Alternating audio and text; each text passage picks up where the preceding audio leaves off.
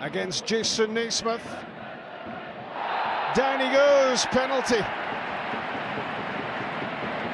Tripped by Naismith, and the feet of Sinclair just too quick. It's Moussa Dembele, and it's the breakthrough for Celtic, ending 25 minutes of Ross County resistance. He's been in great goal scoring form, both for his club